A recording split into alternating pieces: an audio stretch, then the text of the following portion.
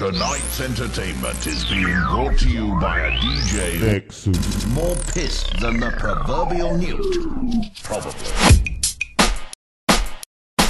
DJ X. Exclusive.